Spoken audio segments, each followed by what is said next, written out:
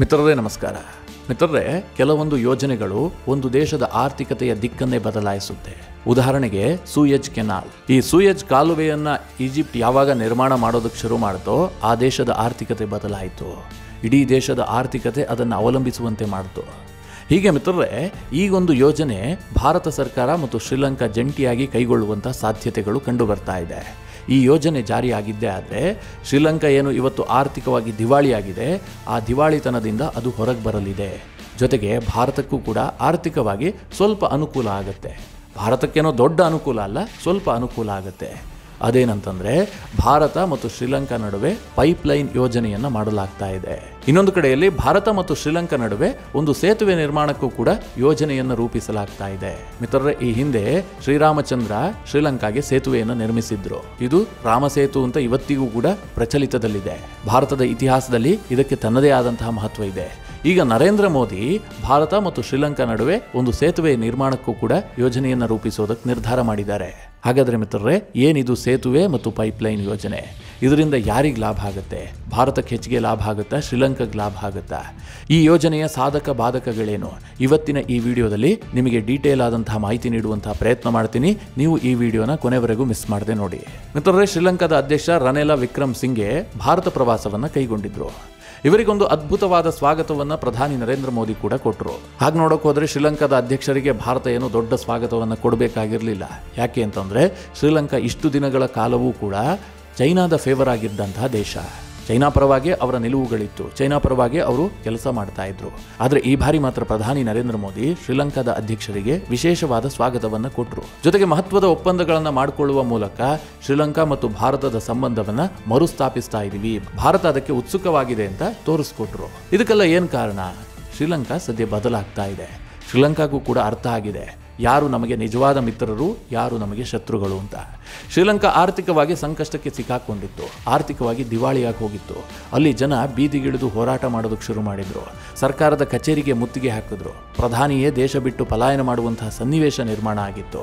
ಹೀಗೆಲ್ಲ ಆದಂತಹ ಶ್ರೀಲಂಕಾ ಈಗ ಚೇತರಿಸಿಕೊಳ್ತಾ ಇದೆ. ಇದಕ್ಕೆಲ್ಲ ಕಾರಣ ಆಗಿದ್ದು ಚೀನಾ. ಚೀನಾ ನಿರಂತರವಾಗಿ ಶ್ರೀಲಂಕಾಗೆ ಸಾಲ ಕೊಡ್ತು. ಆ ಸಾಲದಿಂದಾಗಿ ಫ್ರೀ ಸ್ಕೀಮ್ಗಳನ್ನು ಶ್ರೀಲಂಕಾ ಘೋಷಣೆ ಮಾಡ್ತು. ಹೀಗಾಗಿ ಶ್ರೀಲಂಕಾ ಆರ್ಥಿಕವಾಗಿ ದಿವಾಳಿ ಆಯಿತು ಮಿತ್ರರೇ, ಇಂತಹ ಸಂಕಷ್ಟದ ಸಂದರ್ಭದಲ್ಲಿ ಭಾರತ ಶ್ರೀಲಂಕಾಗೆ ಹೇರಳವಾಗಿ ಸಹಾಯ ಮಾಡಿದೆ. ನಾವು ಶ್ರೀಲಂಕಾದಿಂದ ಲಾಭಾಪೇಕ್ಷೆಗಿಂತಲೂ ಕೂಡ ಅವರು ಸಂಕಷ್ಟದಿಂದ ಹೊರಗೆ ಬರಲಿ ಅಂತೇಳಿ ಭಾರತ ಸರ್ಕಾರ ಸಹಾಯ ಮಾಡ್ತು.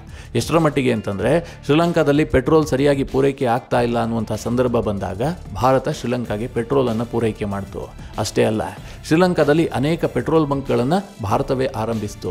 ಹೀಗೆ ಶ್ರೀಲಂಕಾಗೆ ಎಲ್ಲ ವಿಧವಾಗಿಯೂ ಕೂಡ ಭಾರತ ಸಹಾಯ ಮಾಡಿತು.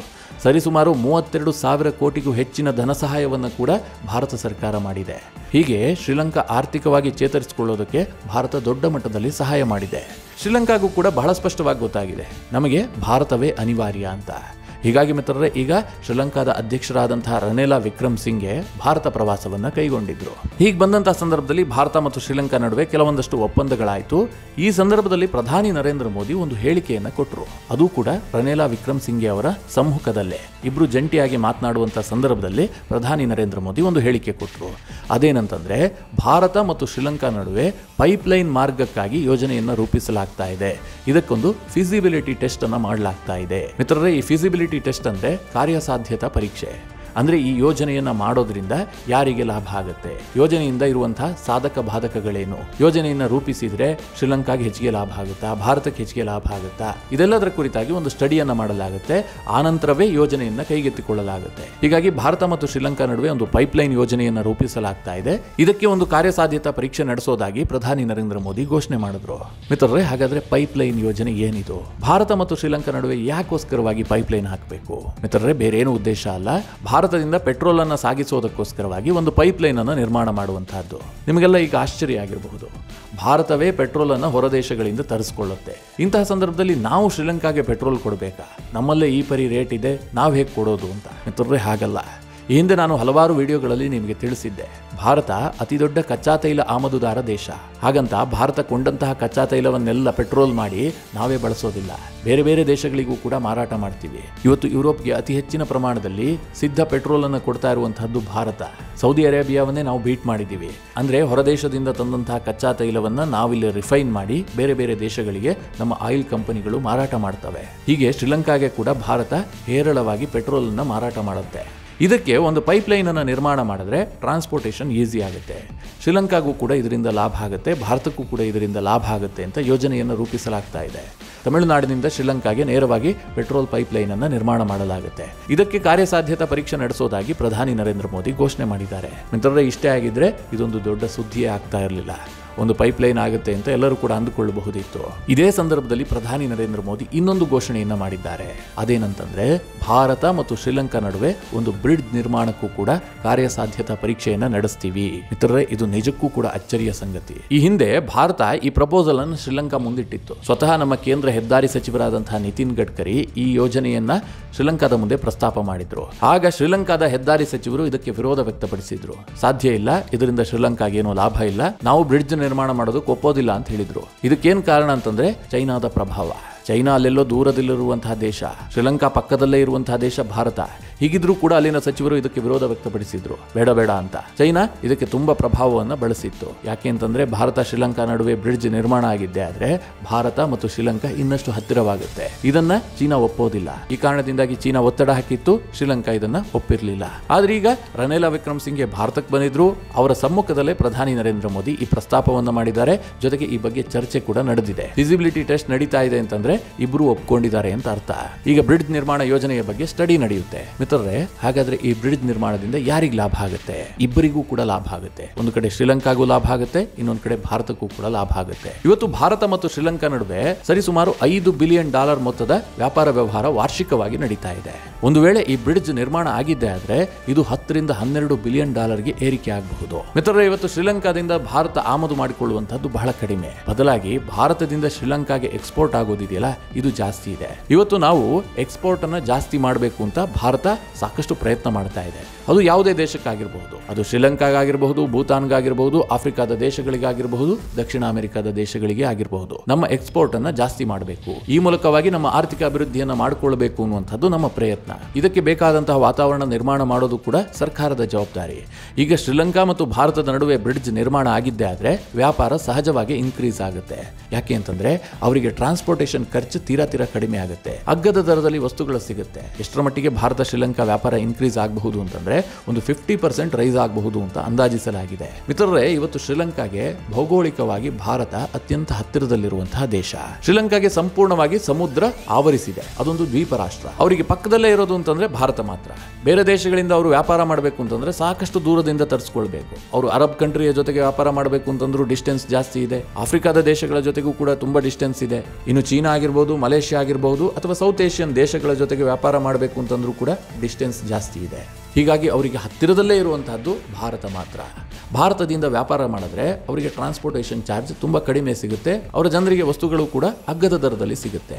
ಈಗ ಈ ಬ್ರಿಡ್ಜ್ ನಿರ್ಮಾಣ ಮಾಡಿದ್ದೇ ಆದರೆ ವ್ಯಾಪಾರ ಸುಧಾರಣೆ ಆಗುತ್ತೆ, ಶ್ರೀಲಂಕಾಗೆ ಲಾಭ ಆಗುತ್ತೆ. ಇದೇ ಕಾರಣದಿಂದ ಭಾರತ ಮತ್ತು ಶ್ರೀಲಂಕಾ ನಡುವೆ ಒಂದು ಬ್ರಿಡ್ಜ್ನ ಪ್ರಸ್ತಾಪ ಕೂಡ ಆಗಿದೆ. ಇದರ ಕಾರ್ಯಸಾಧ್ಯತಾ ಪರೀಕ್ಷೆಯ ಬಗ್ಗೆಯೂ ಕೂಡ ಸ್ಟಡಿ ನಡೆಯೋದಕ್ಕಿದೆ. ಮಿತ್ರರೇ, ಭೌಗೋಳಿಕವಾಗಿ ಭಾರತ ಮತ್ತು ಶ್ರೀಲಂಕಾದ ನಡುವೆ ಐವತ್ನಾಲ್ಕು ಪಾಯಿಂಟ್ ಎಂಟು ಕಿಲೋಮೀಟರ್ ದೂರ ಇದೆ. ಬ್ರಿಡ್ಜ್ ನಿರ್ಮಾಣ ಮಾಡಬೇಕು ಅಂತಂದ್ರೆ ಕನಿಷ್ಠ ದೂರ ಇರುವಂತಹದ್ದು ಇಷ್ಟು ಇಷ್ಟೊಂದು ಉದ್ದದ ಬ್ರಿಡ್ಜ್ ಅನ್ನ ನಿರ್ಮಾಣ ಮಾಡಬೇಕಾಗಿದೆ. ಈಗ ನಿಮಗೆಲ್ಲ ಒಂದು ಪ್ರಶ್ನೆ ಬಂದಿರುತ್ತೆ. ರಾಮ ಸೇತುವೆ ಇದೆಯಲ್ಲ? ಪ್ರಭು ಶ್ರೀರಾಮಚಂದ್ರ ನಿರ್ಮಾಣ ಮಾಡಿದಂತಹ ಸೇತುವೆ ಇದೆಯಲ್ಲ? ಇದರ ಮೇಲೆಯೇ ಬ್ರಿಡ್ಜ್ ನಿರ್ಮಾಣ ಮಾಡಲಾಗುತ್ತಾ ಅಥವಾ ಪಕ್ಕದಲ್ಲಿ ನಿರ್ಮಾಣ ಮಾಡಲಾಗುತ್ತಾ? ಇದರ ಬಗ್ಗೆ ಯಾವುದೇ ಕನ್ಫರ್ಮೇಷನ್ ಇಲ್ಲ. ಇದೆಲ್ಲದರ ಬಗ್ಗೆ ಕಾರ್ಯಸಾಧ್ಯತಾ ಪರೀಕ್ಷೆಯನ್ನು ನಡೆಸಲಾಗುತ್ತೆ. ಅಲ್ಲೇ ನಿರ್ಮಾಣ ಮಾಡಬೇಕಾ? ಪಕ್ಕದಲ್ಲಿ ನಿರ್ಮಾಣ ಮಾಡಬೇಕಾ? ಇದೆಲ್ಲದರ ಬಗ್ಗೆ ಸ್ಟಡಿ ಆಗುತ್ತೆ. ಆದರೆ ಮಿತ್ರರೇ, ನಿಮಗೆಲ್ಲ ಸೇತು ಸಮುದ್ರಂ ಯೋಜನೆ ಬಗ್ಗೆ ಗೊತ್ತೇ ಇದೆ. ಒಮ್ಮೆ ಒಂದು ಯೋಜನೆಯನ್ನು ಕೈಗೆತ್ತಿಕೊಳ್ಳಲಾಗಿತ್ತು. ರಾಮ ಸೇತುವೆಯನ್ನು ಒಡಿಬೇಕು ರಾಮ ಸೇತುವೆಯ ಮಧ್ಯೆ ಒಂದು ಕೆನಾಲನ್ನು ನಿರ್ಮಾಣ ಮಾಡಬೇಕು. ಇದಕ್ಕೇನು ಕಾರಣ ಅಂತಂದರೆ, ಇವತ್ತು ನಾವು ಅರಬ್ಬಿ ಸಮುದ್ರದಿಂದ ಬೇ ಆಫ್ ಬೆಂಗಾಲ್, ಬಂಗಾಳ ಕೊಲ್ಲಿಯನ್ನು ತಲುಪಬೇಕು ಅಂತಂದರೆ, ಹಡಗು ಕಂಪ್ಲೀಟ್ ಆಗಿ ಶ್ರೀಲಂಕಾವನ್ನ ಸುತ್ತುವರದೆ ಹೋಗಬೇಕು. ಯಾಕೆ ಅಂತಂದರೆ ಮಧ್ಯದಲ್ಲಿ ರಾಮ ಸೇತುವೆ ಅಡ್ಡ ಆಗುತ್ತೆ. ಅದನ್ನು ದಾಟೋದಕ್ಕೆ ಸಾಧ್ಯ ಇಲ್ಲ. ಹೀಗಾಗಿ ಈ ಸೇತುವೆಯನ್ನು ಒಡೆದು ಅಲ್ಲೊಂದು ಕೆನಾಲನ್ನು ನಿರ್ಮಾಣ ಮಾಡಿದ್ರೆ ಸಾಕಷ್ಟು ಸಮಯ ಉಳಿಯುತ್ತೆ, ಸಾಕಷ್ಟು ಇಂಧನ ಉಳಿಯುತ್ತೆ. ಹಡಗುಗಳು ನೇರವಾಗಿ ಬೇ ಆಫ್ ಬೆಂಗಾಲನ್ನು ತಲುಪಬಹುದು ಅಂತ ಒಂದು ಯೋಜನೆಯನ್ನು ರೂಪಿಸಲಾಗಿತ್ತು. ಆಗ ಹಿಂದೂಗಳು ಸಾಕಷ್ಟು ಇದಕ್ಕೆ ವಿರೋಧ ವ್ಯಕ್ತಪಡಿಸಿದ್ರು. ಯಾಕೆ ಅಂತಂದರೆ ಈ ದೇಶದ ಇತಿಹಾಸ ಅಂತಂದರೆ ಅದು ಶ್ರೀರಾಮನ ಇತಿಹಾಸ. ಶ್ರೀರಾಮನ ಕುರುಹುಗಳಿರೋದು ಅಂತಂದರೆ ಅದರಲ್ಲಿ ರಾಮ ಸೇತುವೆಯೂ ಕೂಡ ಒದ್ದು. ಇದನ್ನು ಭಾರತವೇ ಒಡೆದ್ರೆ ಅರ್ಥ ಏನಿದೆ? ಇದನ್ನು ಒಡಿಬಾರ್ದು, ಇದನ್ನು ಸಂರಕ್ಷಿಸಬೇಕು ಅಂತ ದೊಡ್ಡ ಮಟ್ಟದಲ್ಲಿ ವಾದ ವಿವಾದ ನಡೆದಿತ್ತು ಆನಂತರದಲ್ಲಿ ಆ ಯೋಜನೆಯನ್ನು ಕೈ ಬಿಡಲಾಗಿದೆ ಈಗ ಮಿತ್ರರೇ, ಭಾರತ ಮತ್ತು ಶ್ರೀಲಂಕಾ ನಡುವೆ ಒಂದು ಸೇತುವೆ ನಿರ್ಮಾಣ ಆಗಿದ್ದೆ ಆದರೆ ರಾಮ ಸೇತುವೆಯ ಸೇಫ್ಟಿ ಇನ್ನಷ್ಟು ಜಾಸ್ತಿ ಆಗುತ್ತೆ. ಯಾಕೆಂದರೆ ಮಧ್ಯದಲ್ಲಿ ಮತ್ತೊಂದು ಸೇತುವೆ ಇರುವಾಗ ರಾಮ ಸೇತುವೆಯನ್ನು ಒಡೆಯುವಂತಹ ಪ್ರಶ್ನೆಯೇ ಬರೋದಿಲ್ಲ. ಅದು ಹಾಗೆ ಉಳಿಯುತ್ತೆ. ಹೀಗಾಗಿ ಪ್ರಧಾನಿ ನರೇಂದ್ರ ಮೋದಿ ಏನು ಈ ಸೇತುವೆಯ ಬಗ್ಗೆ ಪ್ರಸ್ತಾಪ ಮಾಡಿದ್ದಾರೆ, ಇದು ಬಹಳಷ್ಟು ಚರ್ಚೆ ಆಗ್ತಾ ಇದೆ. ಎಲ್ಲ ಮಾಧ್ಯಮಗಳಲ್ಲೂ ಕೂಡ ಈ ಬಗ್ಗೆ ಚರ್ಚೆ ಆಗ್ತಾ ಇದೆ. ಅಂದು ಶ್ರೀರಾಮಚಂದ್ರ ಶ್ರೀಲಂಕಾಗೆ ಯುದ್ಧದ ಕಾರಣದಿಂದಾಗಿ ಸೇತುವೆಯನ್ನು ನಿರ್ಮಾಣ ಮಾಡಿದ್ರು. ಈಗ ಪ್ರಧಾನಿ ನರೇಂದ್ರ ಮೋದಿ ಅವರು ಆರ್ಥಿಕತೆಯ ದೃಷ್ಟಿಯಿಂದ ಭಾರತ ಮತ್ತು ಶ್ರೀಲಂಕಾ ನಡುವೆ ಸೇತುವೆ ನಿರ್ಮಾಣ ಮಾಡೋದು ಹೊರಟಿದ್ದಾರೆ ಅಂತ. ಮಿತ್ರರೇ, ಶ್ರೀಲಂಕಾಗೂ ಕೂಡ ಇದು ಅನಿವಾರ್ಯ ಆಗ್ತಾ ಇದೆ. ಇತ್ತೀಚೆಗಷ್ಟೇ ಶ್ರೀಲಂಕಾದ ಅಧ್ಯಕ್ಷ ರನೇಲ ವಿಕ್ರಮ್ ಸಿಂಗೆ ಒಂದು ಹೇಳಿಕೆಯನ್ನು ಕೊಟ್ಟಿದ್ರು.